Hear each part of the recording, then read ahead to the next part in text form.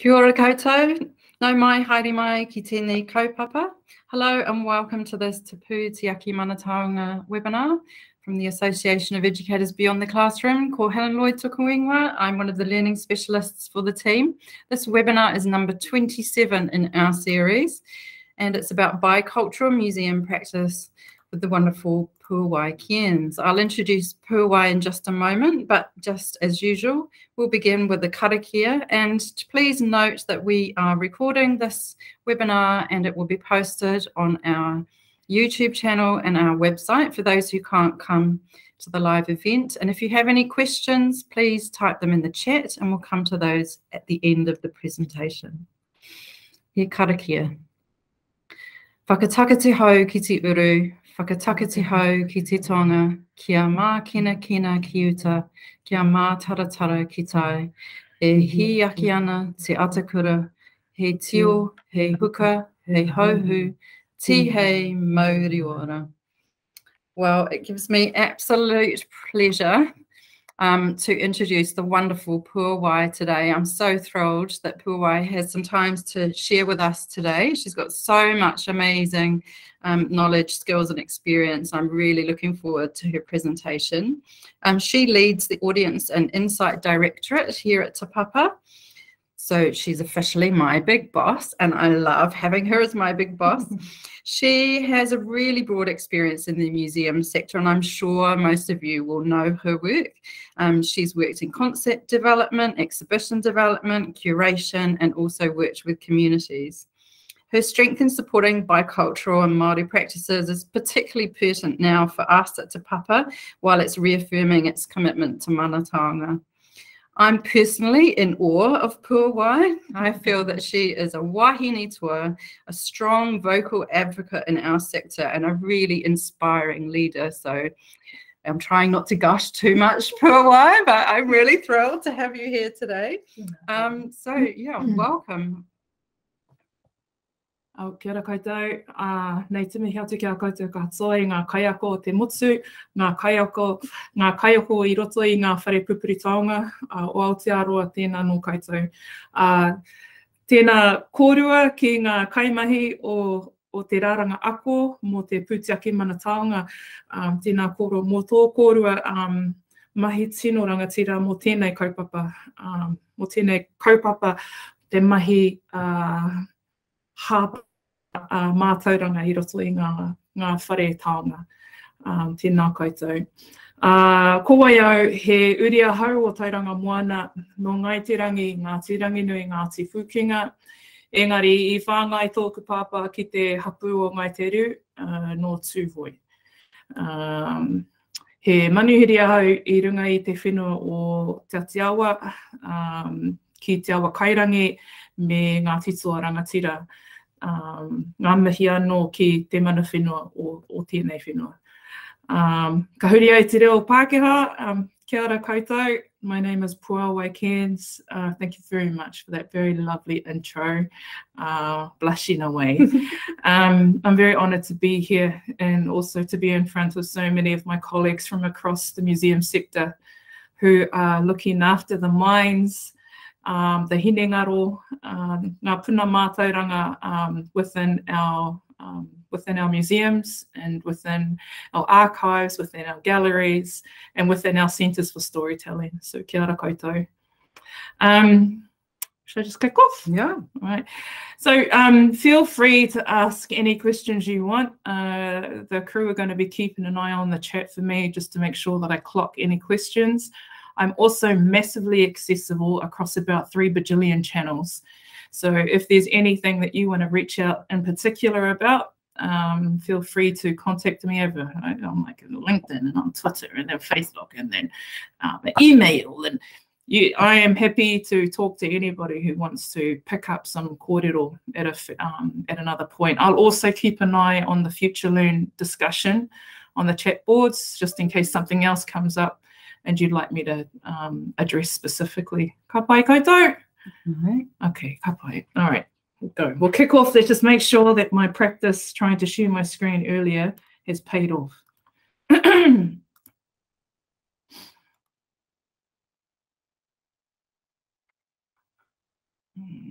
You just need oh, All right. right, presentation mode. Yep. Sweet. Okay. just hide that bit. There we go. All right, kicking off. So tēnā koutou. Um, so uh, the the team have let me know that uh, a couple of my articles have been shared, uh, or a couple of my blogs have been shared on um, as part of your course um, literature. Um, the the things that have been in some of the stuff that I put into those articles or into those blogs basically underpin what I'm about to share with you. This was originally um, developed for a keynote that I gave in um, to a big group in Amsterdam, but I thought it was really pertinent um, to bring it in front of you as um, a, a group of kind of culture change makers. Um, and my hope is that maybe just sharing some of the things that I've been trying to do in order to reorient some of the old currents that I work with. maybe of some kind of use in your um, specific context. I know that it, sometimes it feels a bit apples and oranges, and a lot of my background is as a curator, but um, I think there is some things that are quite general and can be shared across across our different professional realms. So I've called this "I Don't Belong Here." Indigenous practices in museums. And that particular title came out of a great sense of kind of loneliness and isolation that I felt, um, especially when I moved into the head of the Māori collection or head of Mātauranga Māori a couple of years ago. Um, I was I was put in place as a practice lead, uh, curatorial practice, also to look after um, our physical collection, um, so leading the acquisition, um, the interpretation, and the scholarship derived from the collection, but also trying to grapple with ma what Mātauranga Māori meant within a museum context um, and what that meant to me personally. Um, and the, the, the overwhelming sensation I had when I realized that I now had a, a title, a scary title called Head of Mātauranga Māori. Hence the big freak out, I don't belong here.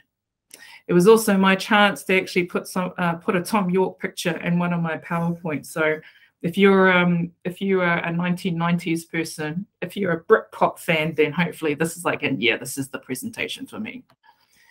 Kapai. So um, a lot of the time when I'm thinking about trying to make change, it is definitely about gazing into the future. When I was a curator, um, especially doing collecting, a lot of my background, um, the kind of specialization I had as a curator was in contemporary culture, uh, contemporary Māori culture. And one of the things that, that was kind of difficult about that particular portfolio was that a lot of the time when you're acquiring contemporary culture, they are objects that are not yet proven to be of value. They're not objects that are proven to be of any importance. Um, they tend to potentially feel ephemeral, um, popular culture, um, populist, uh, temporary. And so the argument to bring something like that into a museum, um, you have to try and project into the future about what this importance could eventually be. Um, the image I used to originally use as a curator was I would always imagine uh, a, a Māori woman curator 100 years in the future, and that I was trying to prepare a collection that she would use. So I would kind of go through quite an elaborate imagining of what she would want. I would imagine that she had been given an exhibition uh, project to create um, a history show about Māori life in 2012, uh, given that this was 100 years in the future. What could I do to make sure that she would get all the things she needed to tell the story that I hoped she would?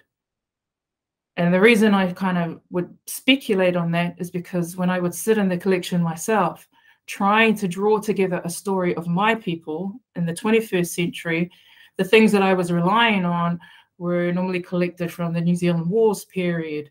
They were um, the stories of very significant, um, the, the, first politician, the first this, the first that, people who came from noble families, people who are of historical importance.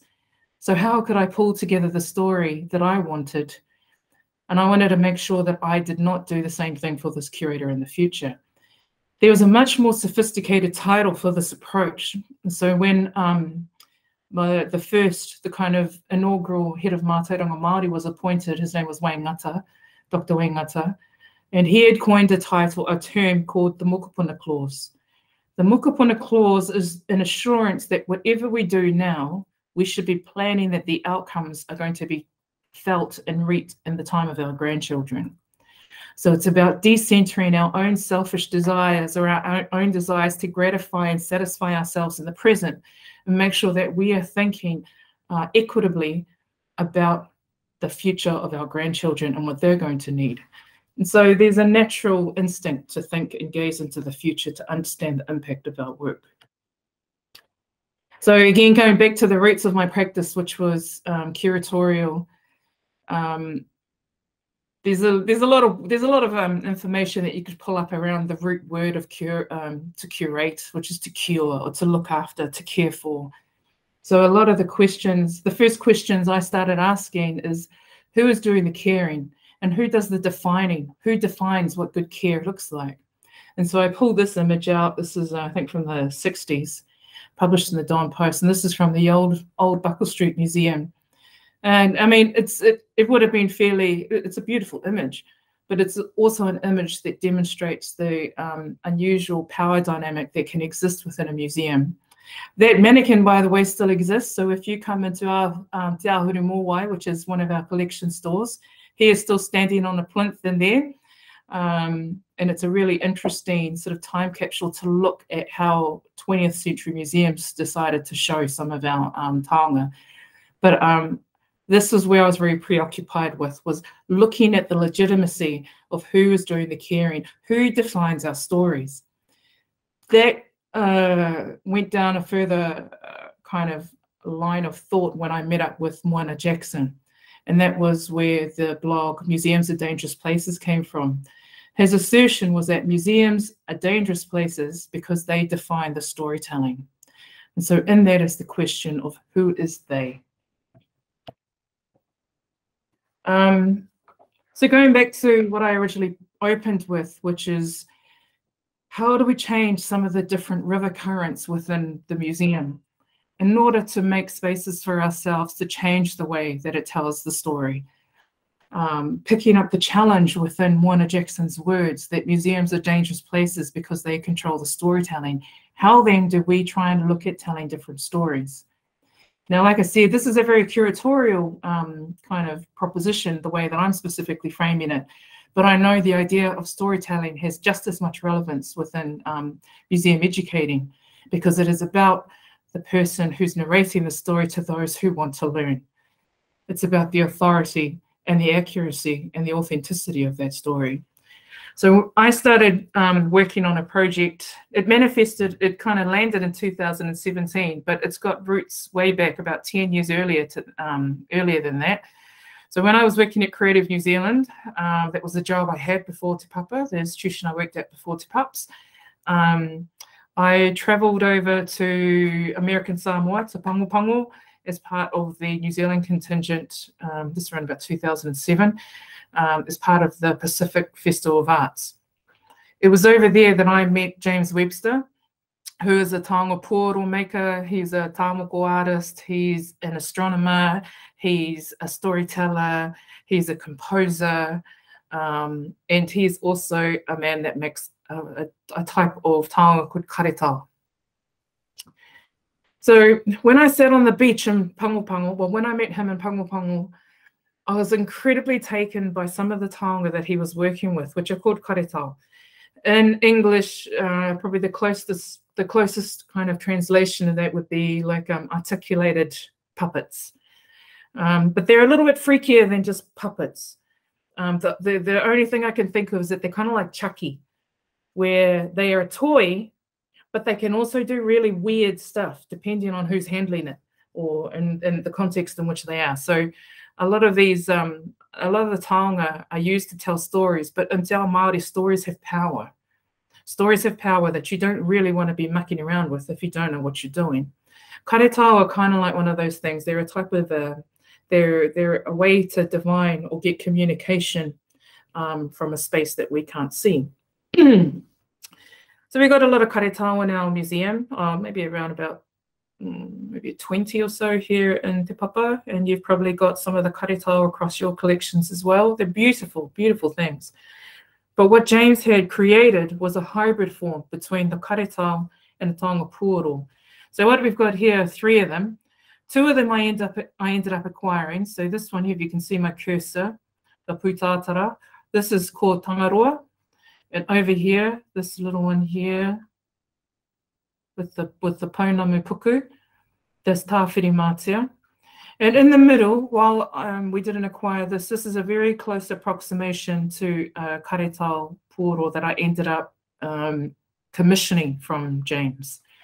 So I first started working with him. I knew he had about seven karetao, but um, I asked him rather than removing those from him, I get I asked, could I could I get you to imagine if all of your karetao disappeared in the world and there was only one karetao left and that was in Te Papa, what would it look like? How would you make it? And so I commissioned that piece from him. And so he created um, uh, this piece, which is kind of modeled on the Putorino. Um, once we had gone through that particular project, so that ended up starting around about 2016. So this is nine years after we first met. Um, and then I started an acquisition project to acquire the other two. so that was really, that was where I think I did a bit of a practice change. So you'll be all familiar with acquisitions when we acquire taonga or acquire objects into a museum collection, we effectively um, take ownership of it, take possession of it, and take responsibility for preserving and conserving it, to with the intent to extend its life as much as we can in order for as many people as possible to learn from it, uh, to see it, to benefit from the interpretation of it. The only thing with this kind of approach, with this idea of conserving and preserving uh, through uh, after acquisition, is that you you effectively interrupt or you pause the cultural life of that object. You stop the cultural life of it. Its functional life. There was one of the reluctant things about taking two or even three of James's karetao, especially because they were so unique in the world that um, I could not bear the thought of um, interrupting their lives. The other thing which I had to be really conscious of is that they were of such massive importance to James and to his wife who performs with him, uh, Hinemwa, uh, who you can see in the image there. They were almost like their children. So to acquire them was almost um, asking them to give up something that was too deeply precious. So what we did is that we created an acquisition proposal and a collection proposal where we would collect the taonga, but um, rights would be given back to the family forever, that they would be able to come in and take the taonga back to continue to perform with them and continue to use them. And they've done that, I think they've come in and taken about four times. And then when Hinemwa and James are no longer in the world, that then passes to their children it would also we were also we also built into that agreement that um, if taonga puoro experts wanted to perform with them, then they were able to if they were able to get permission for the by the family. So this isn't anything new. This was this is something I actually learned from um, an amazing curator that I believe trained me, helped train me up when I first became a curator, and that's Awhina Tamarapa, who is now a teacher up at Victoria University.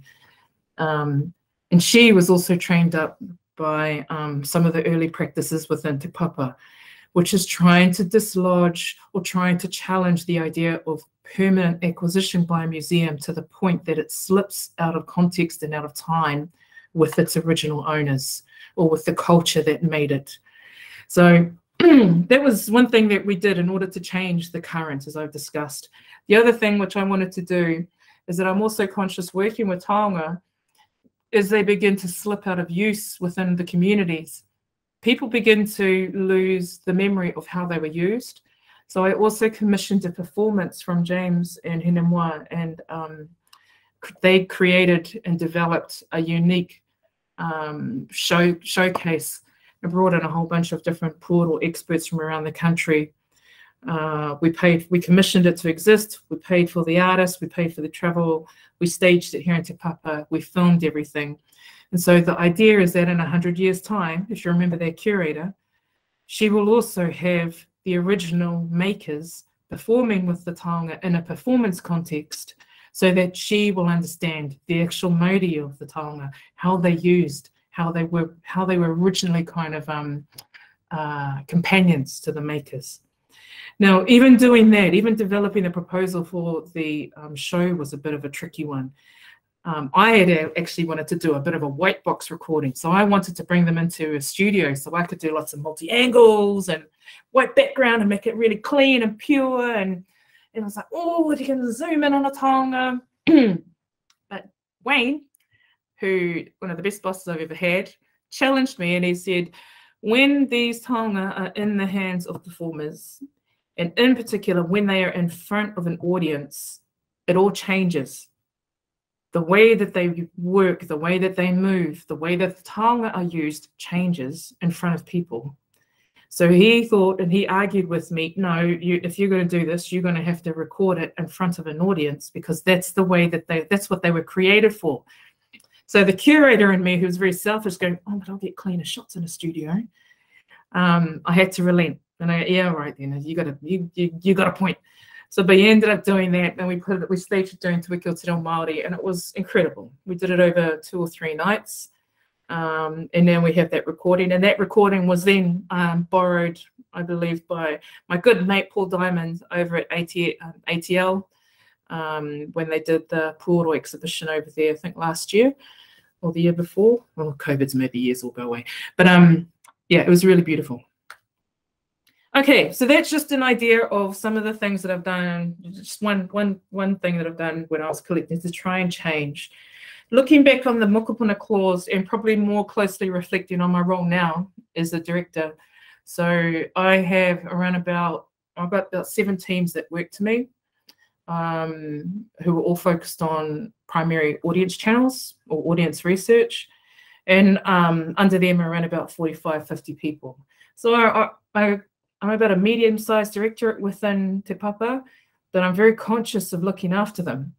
The big thing that I'm also really responsible for is the audience program, uh, which is like the big kind of this is the big mirror that a museum holds up to itself to make sure it looks good, isn't it?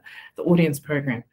So there are some principles that I wanted to put in place. One, when I started looking after the directorate, looking after my direct reports, looking after their reports, but also the responsibility of looking after the audience program. And the big one was around trying to build towards equity.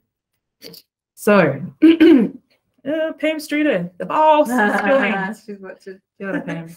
Um, so, also in one of in, in, what I've shared with you was the notion of Māorification, which was Moana Jackson's preferred term to decolonization. Um, decolonization for me is a little bit of a um, double-edged sword it is about challenging a colonial system, and that is a necessary thing.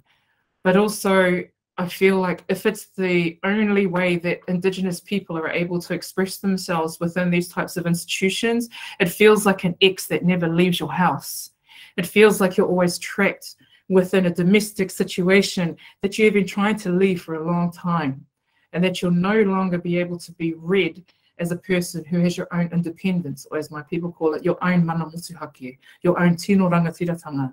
So I've always struggled with the idea of decolonization being that one political expression of our people within, a, within an institution. And then when we had the meeting with Moana, who I've known for many, many years since I was a child, he expressed his same kind of dissatisfaction and he said that a lot of people are moving towards indigenization but even then he didn't like that term. He called it re-Māorification. Um, and this was bringing our culture back to be the culture the currency of how we moved and how we thought and how we acted so the idea of re-Māorification is really important to me and when i was thinking around the audience program and even around managing the directorate I wanted to think of a generative system. I wanted to look back at my at, at what my kind of uh, ancestors were would would um, hand down to us around how to live within a system that needs to give, but also needs to be given to. And that effectively sums up the system that is the audience program.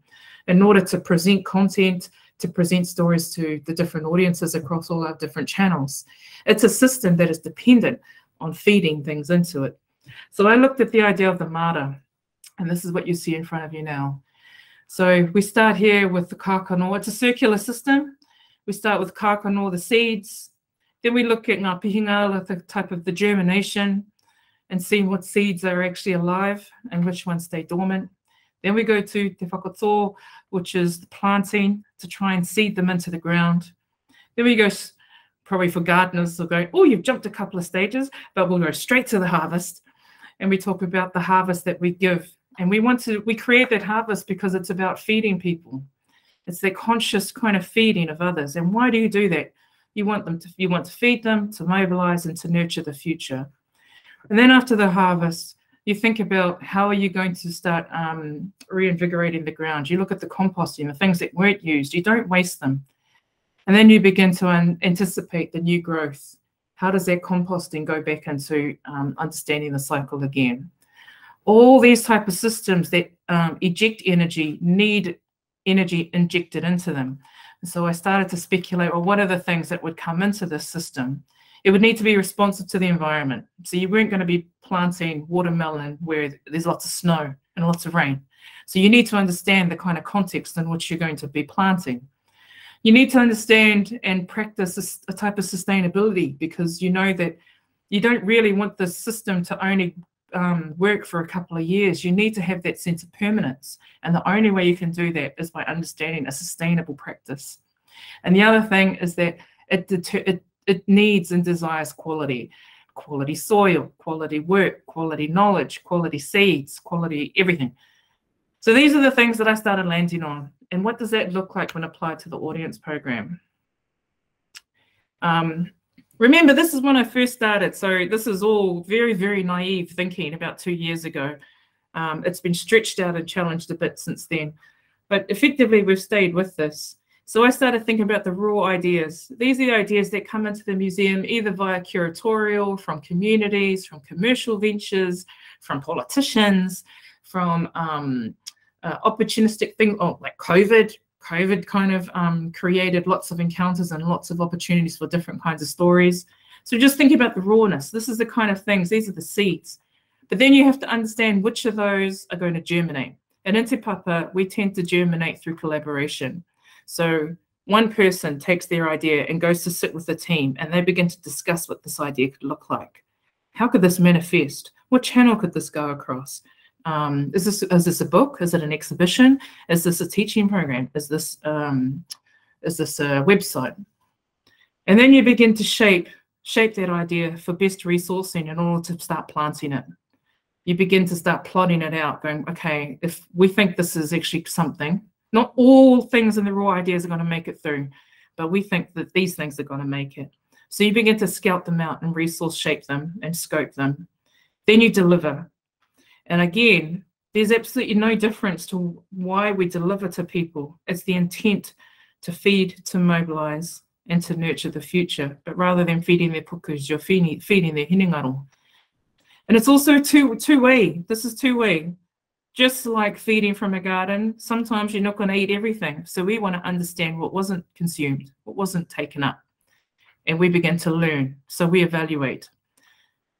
And we begin to apply that evaluation across multiple things. You're looking at project evaluation, learning evaluations, you're looking at um, uh, visitor evaluations. You're looking at all these different metrics in order to understand well, what does the next cycle look like. And just going back to the injection coming in, what comes back into the system? Again, sustainability, care with relationships and resourcing. We don't want to, a lot of the big things when we collaborate with communities, we have to treat them with so much care because we don't want people to have that one encounter to be so horrific that they never want to come and work with us again. So there's a there's a care, a consideration, an ethical approach um, to how we look after relationships and how we look after resourcing, responsive to the environment.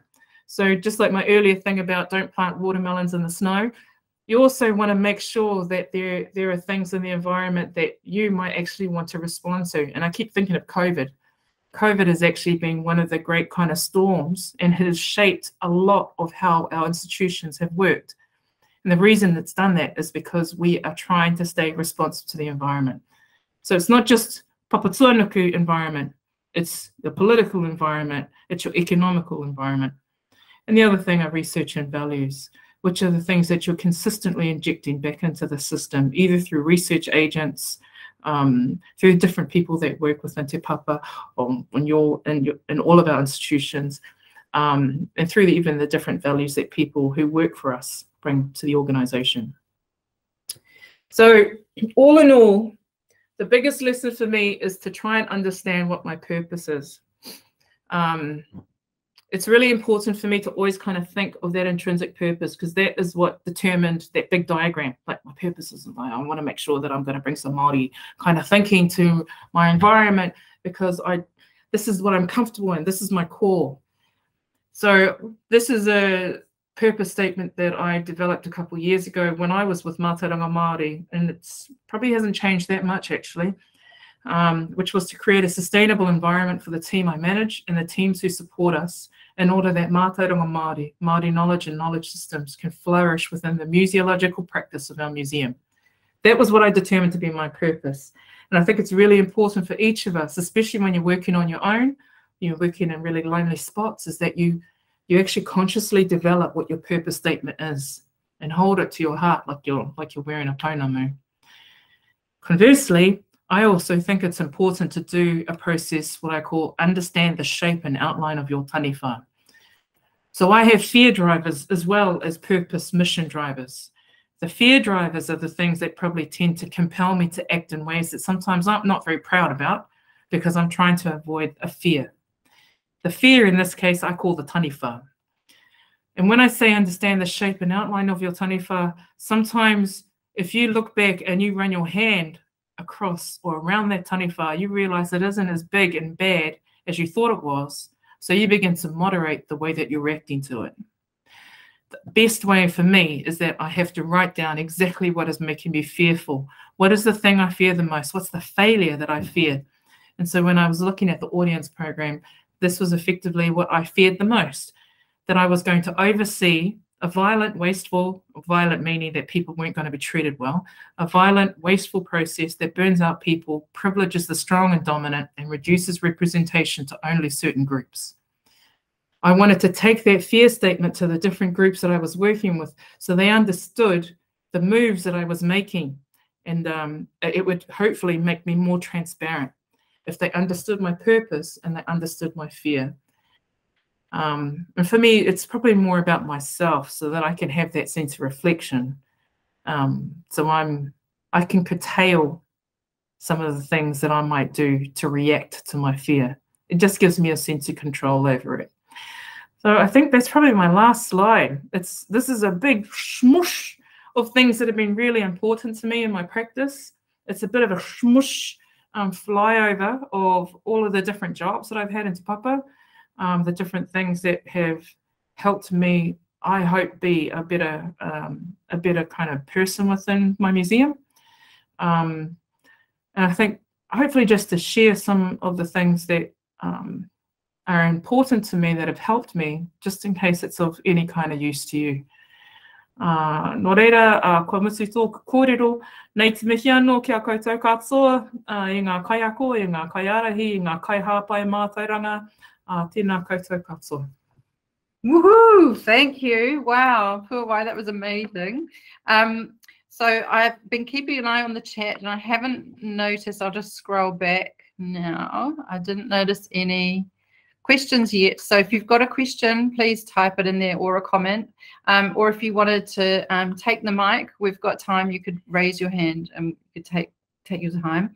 Um, I was writing furiously. Here are all my notes from um, wise session, and I really, really loved your um, Mara, your garden metaphor for understanding the audience um, engagement and development um, cycle of work. I thought that was really fantastic, and I think it had lots of relevances for um, for us in education as well. And I think we could take something like that model and apply it to our work, which is part of that bigger um, cycle. And you've got some really great questions for us to ponder, which I've been writing. It would be lovely to hear people's responses to them if anybody's um, got some quick quick responses and wants to come up with them now. The Mokopuna clause, I think when we're thinking about um, teaching, we're often in the moment. You know, you talked about we're we're instead of focusing on the now, we should be thinking about the future. And I think as educators, we do focus on the now. We're engaging with students right in front of us, right here, right now. But what do we do about thinking about the future and um, the path that we're um, treading in terms of future generations and where that's going to lead us? So I think that's a really good provocation for us to think about in terms of our work. Um, and I really love the um, two-way process in that mara diagram and it made me think of the concept of ako, which we talk about quite a lot of the reciprocal learning and how we learn from learners as well as them learning from us and that sort of two-way cycle. Um, I also really loved the what is my purpose and what is my failure question and I'm going to go away and think about that for myself and my practice and I think it would be you know, it'd be lovely to hear people's thoughts on that. If anybody has done that for themselves, have you posed that question to yourself? Have you got an idea of what your answer might be to either of those? I guess we um, did talk in one of the courses, online courses, about coming up with a vision statement for education or a mission statement. So it'd be good to hear if anybody's got anything about that.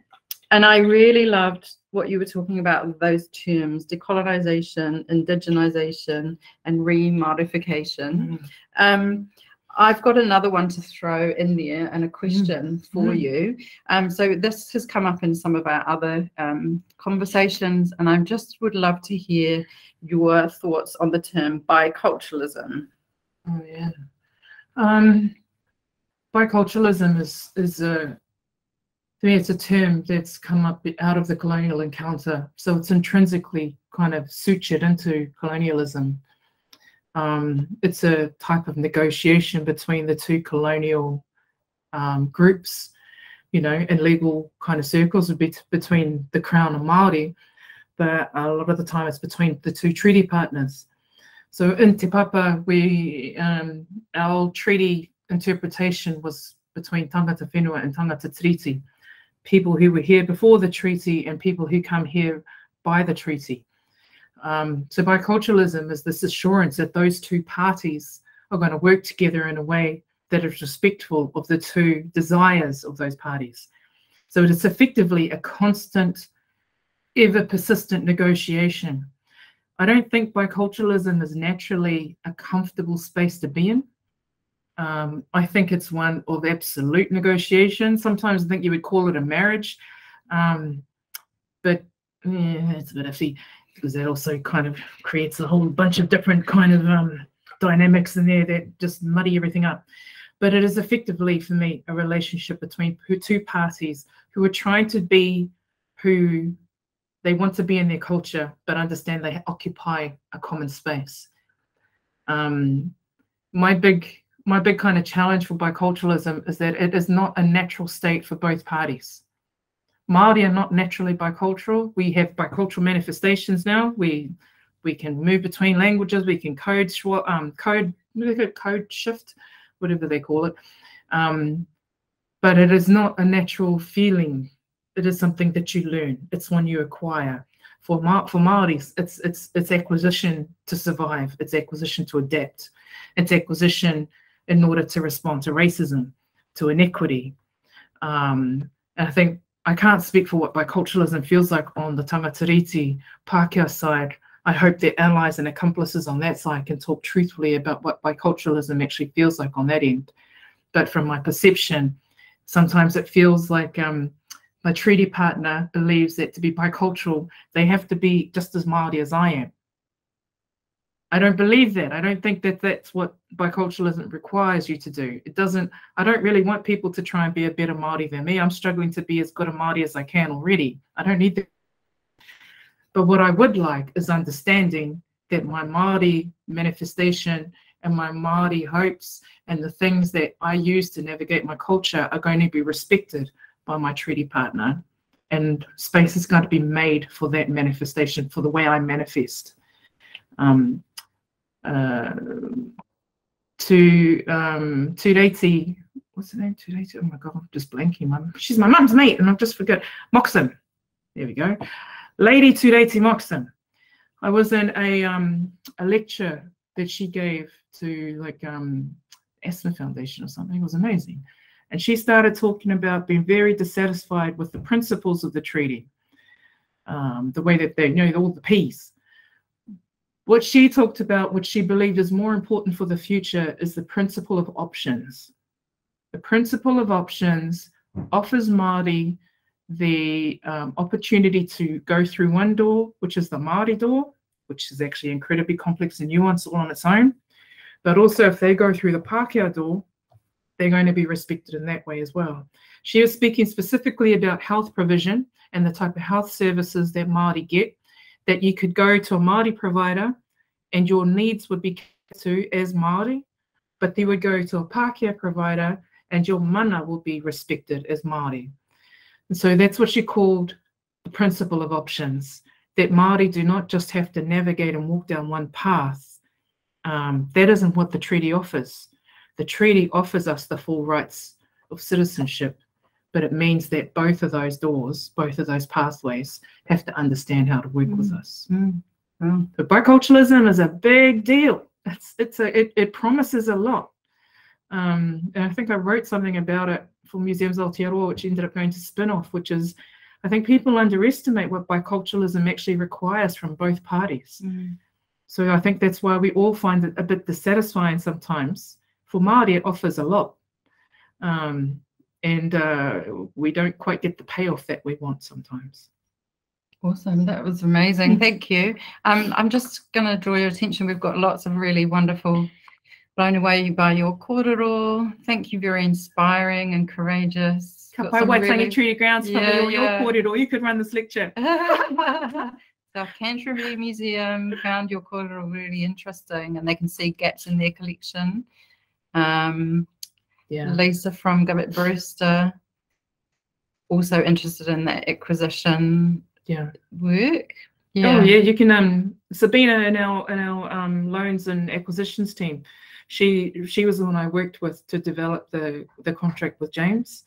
Um and a lot of the time it was just relying on what James and I had been agreeing to in emails.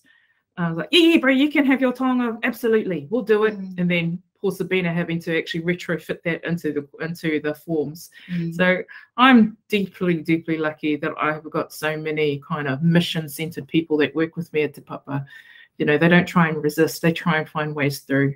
And the, the mana taonga principle you touched on um, a point, obviously that under you know intersects with, underpins with, relates to yeah. what you're talking about there. Yeah, Mana Taonga, I don't know if you guys know the history of Mana Taonga, that was developed from a single, like a two-page memo that was generated out of Ngākai Wawal, who were the Māori Elders Advisory Group for um, the project office that eventually became Te Papa's project. And in there, uh, memo was generated by um, Api Mahuika, um, in collaboration with Ngākai Wawal, and it was presented to the Mines Council, I think, at that point, um, asking for the enshrinement of a principle called Mana Taonga. Manataonga at that point was about um, it was about making sure that the museum would recognize that sometimes there are competing interests, Māori interests in a taonga. So you could have a mere, and we do have a mere, that has two different ownership stories attached to it. Both of them conflict, but both of them can be traced through their kōrero. So a museum could potentially be put in an arbitration role where you can determine which narrative is the true one. Um, that's the power of the museum. What Mana Taonga principle did was that it was to ensure that the museum would always respect that the complex stories around a taonga would be respected, whether it was the maker, the owner, the creator, or the maker, the owner, um, the iwi, that the nature, the complex relationships that Māori have to taonga would always be looked after. But that is a really difficult principle to live by, as you can imagine. So, um, but it is one that, that was the challenge that was put in front of us as an organization. And because Mana Taonga has not be, has become not just a way to um, interpret taonga, to research taonga, to, to, to be a collection manager. Um, it is now, it's actually become almost like a, a kamo kamo vine where it's moved away from just being um, a Maori centered philosophy, a Maori collection centered philosophy. It's actually become a philosophy of practice across all of the collections within Te Papa. Um, so I'm not certain whether Api Mahuika and all of those kaumātua understood that that little kamokamo seed that they planted right back then has turned into this enormous vine that now kind of invisibly wraps Te Papa. Mm. Um, and that's that's what I think is one of the beauty, the beautiful things about bringing in really beautifully thought out whakaaro Māori, because I think there's always some resistance to having whakaaro Māori brought into an institution because there's a cynicism that the institution is just sort of wrapping itself with um, sort of window dressing of, of, of Māoriness to make itself look like it's, you know, it's, it's so on trend. But a lot, for me, whakaaro Māori within this museum has meant it's given me far more latitude to, to move according to my own intuition now, I am not a perfect Māori. I actually call myself a very bad Māori. I'm not very compliant. I, I question too much. I talk too much. Um, I am not very obedient either. So, um, and I am by no means the only one who thinks like me. So I think my culture and the way I work with my culture is not, I don't treat it like it's a, like Moses' commandments that I have to follow them they are principles that I can weave in and out of because that's my privilege. Um, so this this is my approach anyway. Like I said, I don't. I, I the nervousness with that is that um, there, some people would think that I am just really naughty, but for me, it's about making sure that my culture is a living element within me, and I push and pull around it. I search within it, and the fact that I have it within the place that I work has probably meant why I've stayed here so long. Um, oh, kia ora, Tanya. Um, I enjoy your work in biculturalism too, sister. I know you've written a whole PhD on this. So that's so awesome. And I love Maria's um, comment um, about the living mauri of Taonga. I was that was something else I wanted to pick up on as well. When you talk about um, when you talked about that collection um, with James Webster's work in taking the taonga out of their um, yeah. cultural life. Yeah. I think you use the term cultural life. I wonder if you could um, just say something about that term Maori in terms of how it relates to my artifacts. Well, nei te mihi atu ki a koutou, koutou mā, um, o te taitokero, tēnā koutou. Um, he uri ahau, um, hoki o uh, Ngāti Kuri, no te whānau Murray, um, so tēnā koutou. Um, yeah, there, there's, an, a re, there's a really important um, pillar essay, if you haven't already read it, um, which is by Mina McKenzie, called Keeping Our Taonga Warm. Mina McKenzie was the first Māori director of, of a museum within, within New Zealand. She managed Te Manawa, um, and she wrote a lot. On, well, she didn't write a lot, but she what she did write was um, hell amazing. And this one particular paper called Keeping Our Taonga Warm is what I consider to be one of the fundamental kind of canon essays for anybody who wants to understand museological practice within Aotearoa. The whole premise of that paper was that she was arguing for Māori presence within New Zealand museums because the presence, especially of our elders, meant that our taonga would always be kept warm. The language would be around it, our tikanga would be around them, the, the, the physical presence, the physicality of our presence within museums was really important to what she called keeping the taonga warm. A lot of the inspiration for the kind of thinking does actually come out of Te Māori. So um, Te Māori is again one of those kind of key parts in our history which determined the trajectory for museological practice within um, within Aotearoa. And that was really notable because of the the editorial and authoritative, authoritative presence of kaumātua within the selection, the interpretation of taonga. Um, and that's what Te Māori kind of offered to us. It's interesting that because Te Māori was so popular overseas, it made New Zealand sit up and go, oh, hang about. Maybe there is something to all these arts and crafts from all these people that used to live in Wairoa and Gisborne, and now they're, oh, look here, there are now cities. Um, so I think I, it always makes me wonder, like, what would have happened if Te Māori was just like a, big box office bomb? Would we have Te Papa? Would we have Māori curators? Because I'm pretty certain without Te Māori, I wouldn't exist. And my role would not exist. My place would not exist within Te Papa. With, Te Papa wouldn't exist. It would be called the Museum of New Zealand. Um, so going back to that, to what you're saying, Ehua, yes, I, I, I, think it is really important to have taonga beside their people. The people sing their songs. I think that's one of the things, like especially with our kaihautū, if if if iwi wanted taonga out of Te Papa to go back to their homes, now is the time to strike with the with the kaihautū that we have. So um, yeah, let your iwi know. um, he is he is really um, supportive of you know the principle of of Te Māori. You know, there was there was the title of it, Te Hokinga, um, for it to return. So yeah, I think this is a very important time for us in terms of museum practice. Um, it's I think we're standing on a bit of a cusp of change. And I think we're way ahead of the curve. I don't know if you guys are watching what's happening over in Prague with ICOM, but they are just sitting in a room smelling their own farts, as far as I'm concerned. It's not fresh enough. So the reason they're not fresh is because they keep just recycling old museum ideas and notions. So the thing to keep us fresh, I think, is to bring in, it's like that system model, to bring ideas from the outside. And I think that's what Aotearoa is actually really good at. Because I bet you a lot of you were not trained in museum practice. I bet you all came from backgrounds that are really from other kind of professions and you're applying those professional kind of practices to where you are now. That is what keeps our museum practice in Aotearoa fresh. That's my my particular opinion anyway. I'm glad you mentioned the ICOM. Um, little embattlement that you got involved in recently and calling them out i thought was really amazing. I really loved that conversation that unfolded internationally and i think yeah it's really important to to do that sort of thing. Um, and so I don't know if Mel, Mel's doing such a good job of putting references to the things that you're talking about into the chat. Thank you, Mel. And we'll be putting all of these links um, alongside the recording of the webinar. So people who've missed the live event will be able to watch the webinar and also read um, and go back and revisit all of these links and things that you've mentioned there. Um, one last question. Hmm.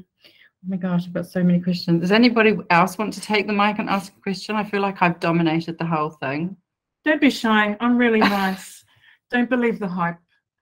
I'm also very sensitive, so please be nice. I thought Pardo might say something. She um fun, no, that's okay. No, um yeah, I guess hmm, We've only got a few minutes left. This might open a big can of worms and take you a long time to answer. But I we signalled in our intro that um, Te Papa is sort of re-examining um, its position and how it articulates itself as um, a treaty-based organisation. Is there anything you'd like to share with us about that? Yeah, I think it's a very new and raw thing to to call ourselves a treaty partner.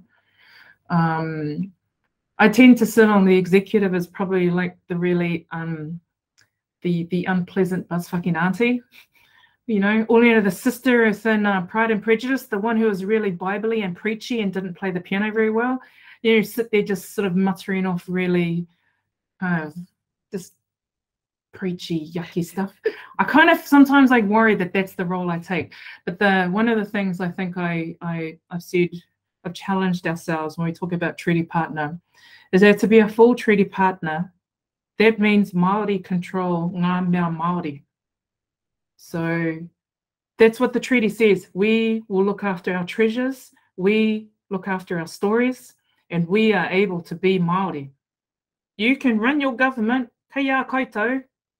You better make sure that we still get the full rights of citizenship, but we hold our mea.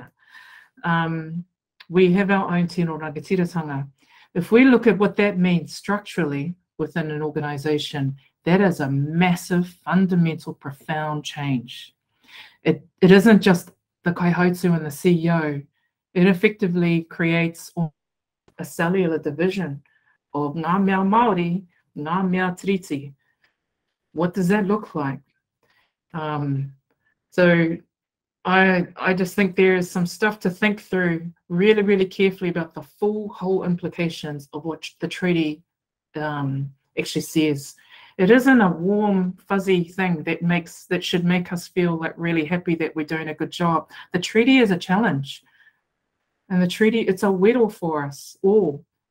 Um, and it's a promise to Māori that we will continue to be Māori, not Māori caught in time, but Māori forever, taking our culture into the future with all the benefits and privilege of their culture being able to change and evolve like all other cultures.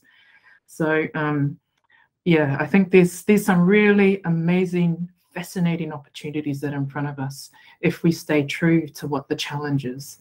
Um, yeah, and I, I think I see a lot of people go, we will we will be a good treaty partner. Te Papa's not just saying it. There seems to be some zeitgeist right now. And I think it's our role to actually say, what do you mean when you want to be a treaty partner? Because have you looked at it lately? It's pretty much still the same from 1840. Um, and what it what it promised the Te Reo vision, what it promised Maori, um, is the world. Mm. That our world will continue. Mm. Yeah, it will not stop.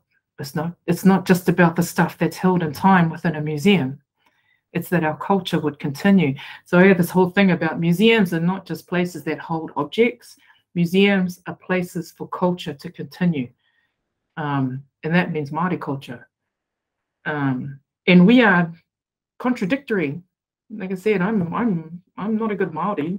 There are lots of good Maori and there are lots of bad Maori. There are Maori that will not agree on this.